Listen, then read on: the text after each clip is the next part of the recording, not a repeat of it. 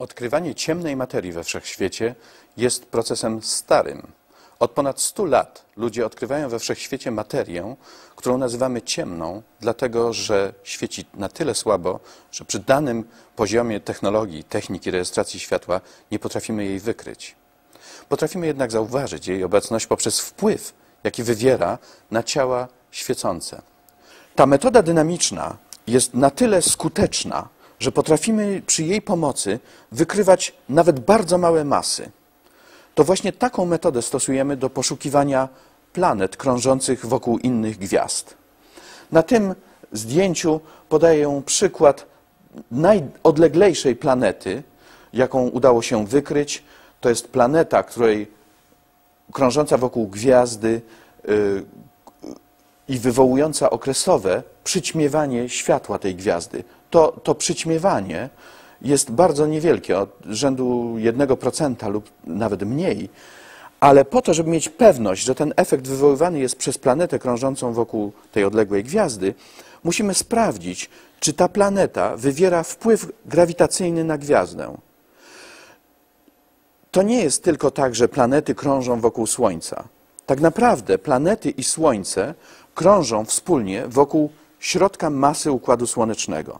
Ponieważ masa Słońca jest dużo większa niż masa wszystkich planet razem wziętych, to ten środek masy Układu Słonecznego znajduje się wewnątrz Słońca, w pobliżu jego powierzchni.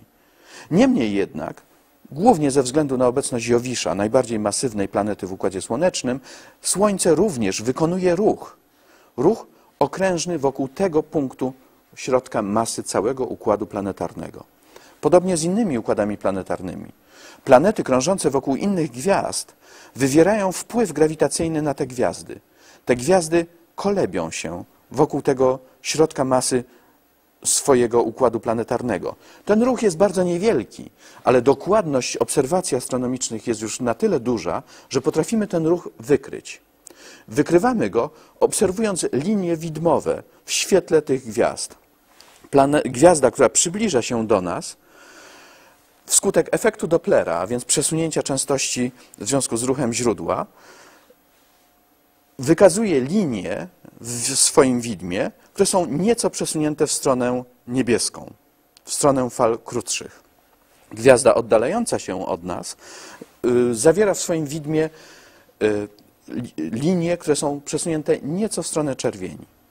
Obserwacje gwiazdy, w których linie widmowe przesuwają się okresowo, ze stałym okresem, to w stronę fal krótszych, to w stronę fal dłuższych, pozwalają określić, pod wpływem jakiej masy ta gwiazda kołysze się.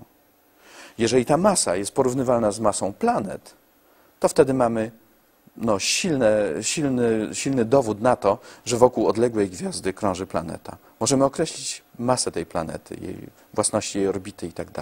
Czyli możemy wykryć masę, której nie jesteśmy w stanie zobaczyć, ale wykrywamy, obserwujemy jej wpływ grawitacyjny na ciało, które widzimy, na gwiazdę. Możemy więc wykrywać nawet tak nieduże masy. Możemy też wykrywać masy znacznie większe.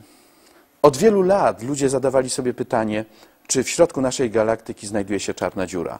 Wiemy, że wiele galaktyk we wszechświecie wykazuje aktywność w swoich jądrach, w swoich centrach. Tam produkowane są duże ilości energii i interpretujemy to jako zjawisko, wynik zjawiska akrecji, czyli spadku materii do czarnej dziury, na, na obracającą się czarną dziurę. To jest najbardziej znany, to jest najwydajniejszy, znany proces produkcji energii we wszechświecie. W ten sposób, poprzez spadek materii na wirującą czarną dziurę, możemy zamienić na energię promienistą około 10% masy spoczynkowej tej materii, która wpada do czarnej dziury. To jest mecha właśnie mechanizm świecenia kwazarów, świecenia wielu aktywnych galaktyk. Nasza galaktyka nie wykazuje wielkiej aktywności w swoim jądrze.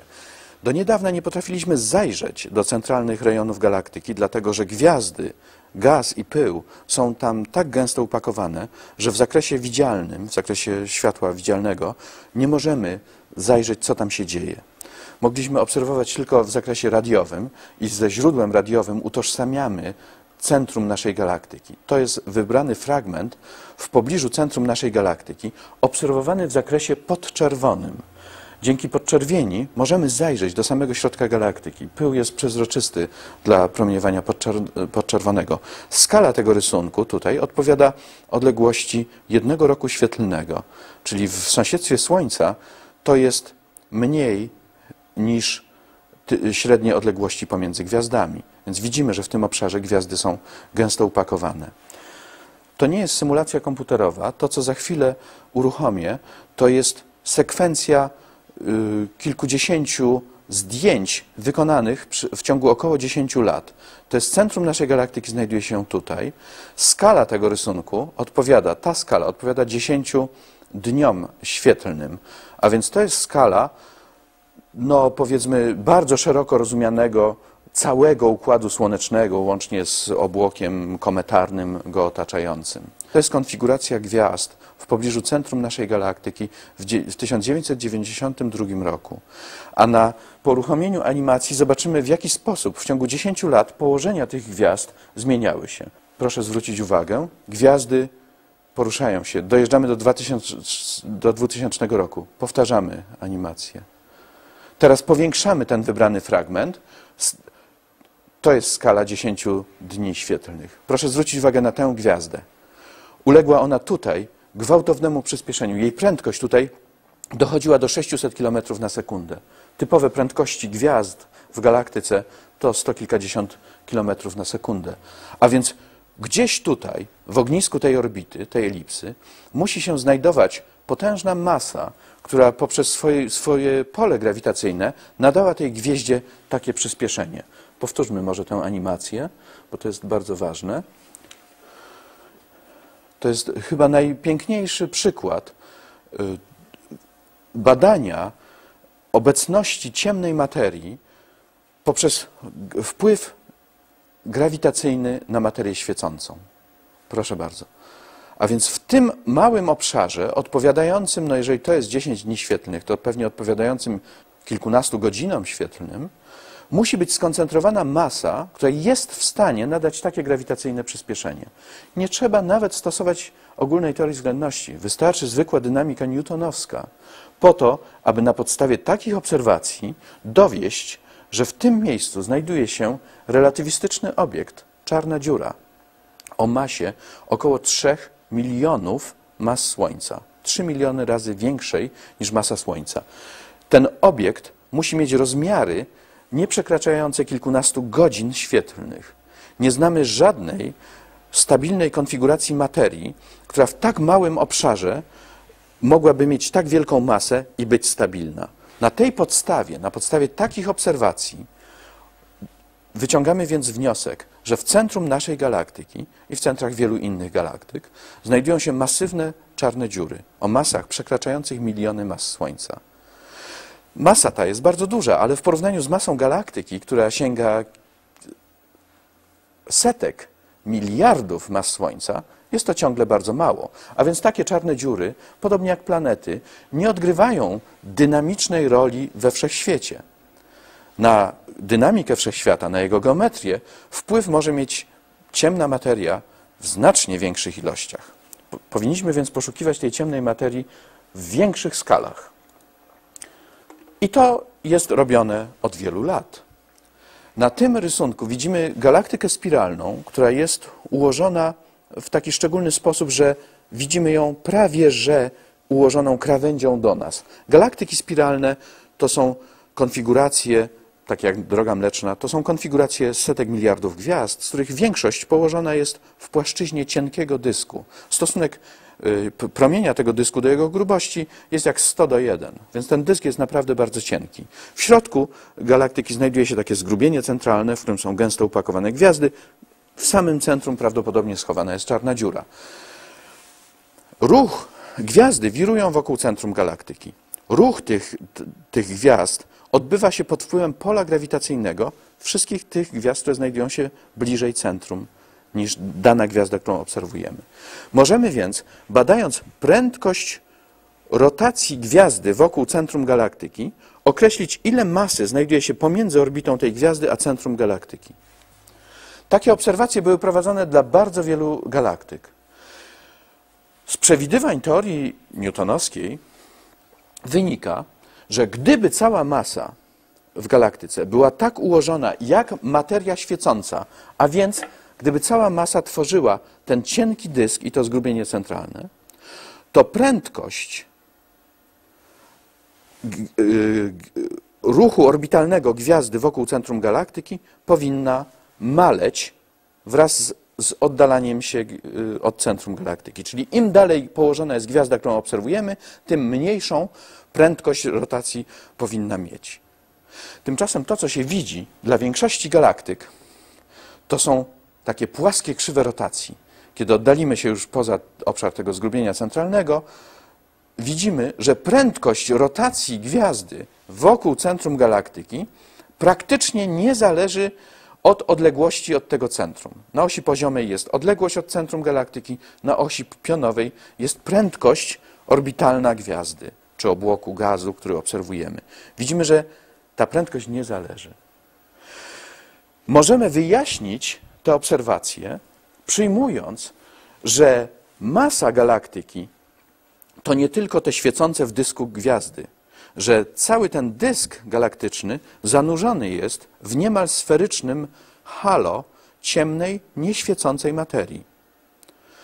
Wiemy więc, że to halo musi być masywne, masa tego halo musi być kilkanaście razy większa niż masa wszystkich gwiazd gazu i pyłu w dysku galaktyki. I wiemy, że to halo musi być rozłożone inaczej, ono musi być sferyczne. A zatem to musi być coś innego niż zwykłe gwiazdy. Czym jest to halo, tego nie wiemy.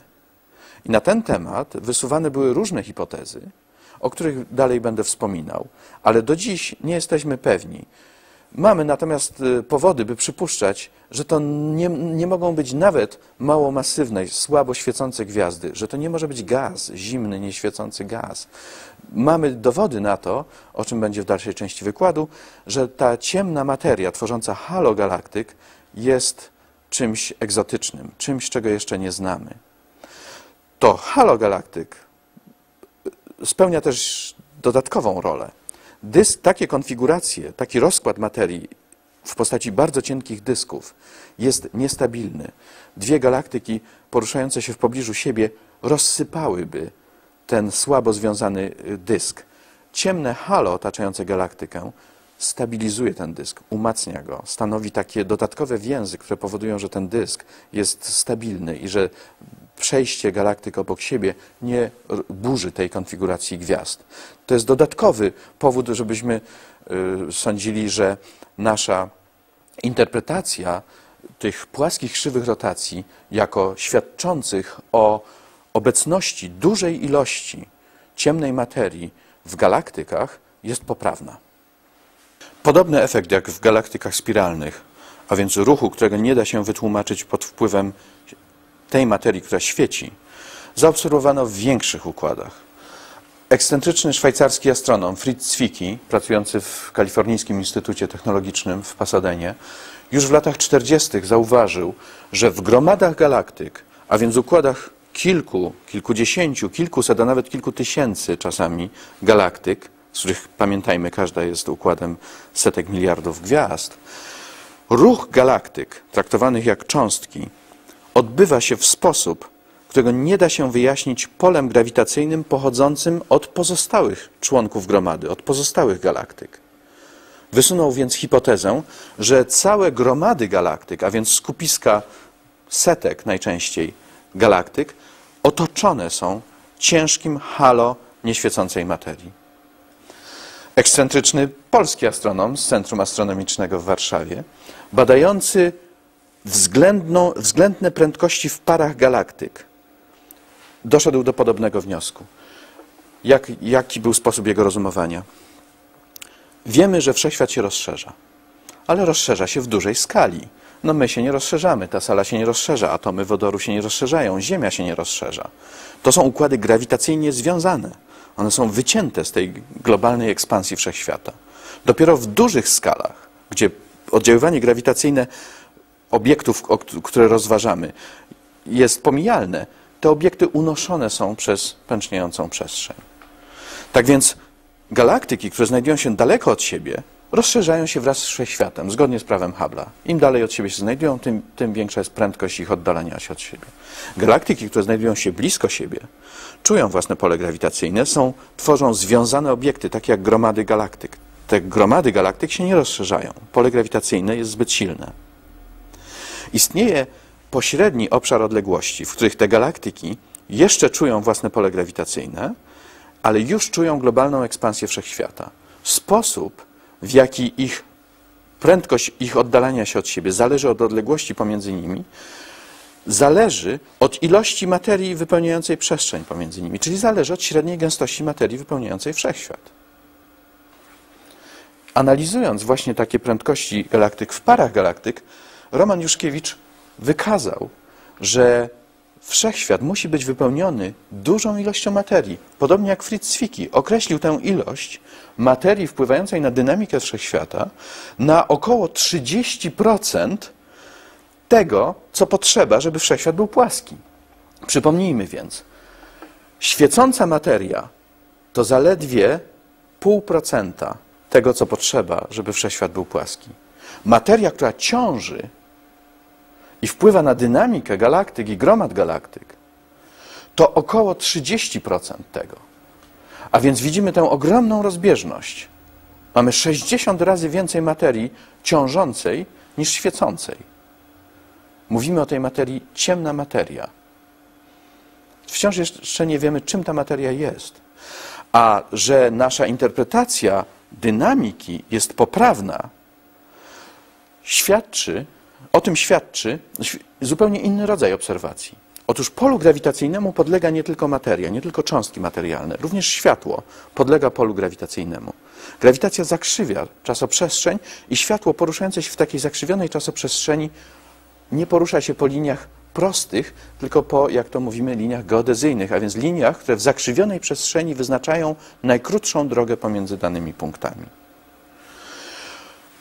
Powoduje to efekt zwany, zwany yy, soczewkowaniem grawitacyjnym. Skupiona masa, zakrzywiając tor promieni świetlnych, działa jak soczewka grawitacyjna. Przy odpowiedniej konfiguracji może to prowadzić do powstawania, podobnie jak w wyniku działania soczewki, obrazów. Mówimy o soczewkowaniu grawitacyjnym. Jeżeli na drodze pomiędzy odległym kwazarem czy galaktyką a nami znajduje się w odpowiednim miejscu odpowiednia ilość materii skupionej, to czasami zdarza się, że widzimy wielokrotne obrazy tego obiektu. Podobnie jak kiedy spojrzymy na światła nadjeżdżającego samochodu przez dno rozbitej butelki.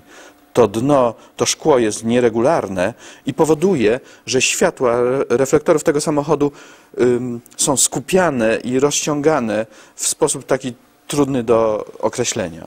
Otóż na tym zdjęciu widzimy takie właśnie zjawisko.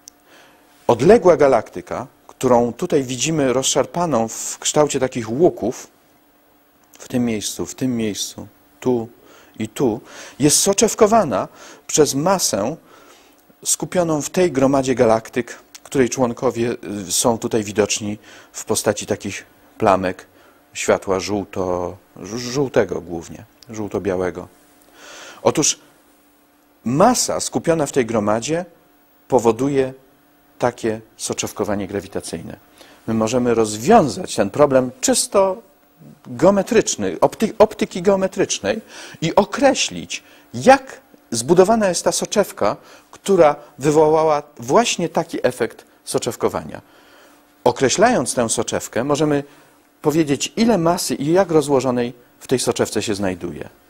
Możemy więc wyznaczyć masę, całkowitą masę tej gromady galaktyk dochodzimy do takich samych konkluzji, jak na podstawie obserwacji ruchu galaktyk. Dochodzimy do wniosku, że wszechświat wypełniony jest dużą ilością materii, wyrażającą się wartością tego parametru omega 0,3, czyli odpowiada to 30% tej ilości, którą potrzeba, żeby wszechświat był globalnie płaski, euklidesowy. Mamy więc zupełnie różne rodzaje obserwacji. Obserwujemy dynamikę galaktyk i gromad galaktyk, obserwujemy soczewkowanie i dostajemy podobny wynik. co utwierdza nas w przekonaniu, że rzeczywiście ciemna materia istnieje i jest skupiona w, wokół galaktyk i gromad galaktyk. Czym jest ta materia? Tego nie, jeszcze nie wiemy. Żeby sprawa była jeszcze bardziej tajemnicza, to powiedzmy, że znamy skład chemiczny wszechświata i rozumiemy, jakie jest pochodzenie tego składu chemicznego. Skąd się wzięła cała tablica Mendelejewa? Potrafimy określić pochodzenie każdego z przeszło stu pierwiastków chemicznych. Prawie wszystkie, za wyjątkiem trzech najlżejszych, powstały w gwiazdach albo w oddziaływaniu materii wywiewanej przez gwiazdy z materią międzygwiazdową, w procesach gwiazdowych, w wybuchach gwiazd. Natomiast najlżejsze, izotopy najlżejszych pierwiastków, wodoru, helu i litu, powstały w ciągu pierwszych trzech minut po wielkim wybuchu, w ciągu pierwszych trzech minut istnienia wszechświata. Wtedy z tej pierwotnej kosmicznej plazmy, z tej gorącej takiej zupy, wskutek rozszerzania się wszechświata i obniżania temperatury, w krótkim czasie istniały warunki, w których nukleony mogły się łączyć i tworzyć najprostsze izotopy. A więc izotopy wodoru, takie jak normalny wodór, deuter, tryt, po którym już nie ma śladu, izotopy helu, helu 4 i helu 3 oraz izotopy litu. Potrafimy przeanalizować przebieg tego procesu nukleosyntezy. To są dość proste procesy jądrowe. I porównując wyniki takiej analizy z obserwowanym składem chemicznym, z ilością izotopów wodoru, helu i litu we wszechświecie, możemy określić, jak szybko zachodziły procesy jądrowe, a to z kolei zależy od tego, ile jest materii. Tej materii, która podlega procesom jądrowym, czyli jak mówimy, materii barionowej. A więc no, takiej zwyczajnej materii, atomów, tego, z czego zrobieni jesteśmy my i świat, który nas otacza. Otóż okazuje się, że tej materii barionowej jest bardzo mało. Zawartość tej materii barionowej we wszechświecie nie może przekraczać około 4% wartości, gęstości krytycznej. Mamy więc trzy oszacowania gęstości materii. Materia świecąca, która, nie może, która stanowi około 0,5% gęstości krytycznej, materia barionowa, czyli atomy, które stanowią około 4% gęstości krytycznej, i materia ciążąca, skupiona wokół galaktyk i gromad, która stanowi około 30% gęstości krytycznej. Rozbieżność między materią świecącą a całą materią barionową bardzo łatwo wytłumaczyć.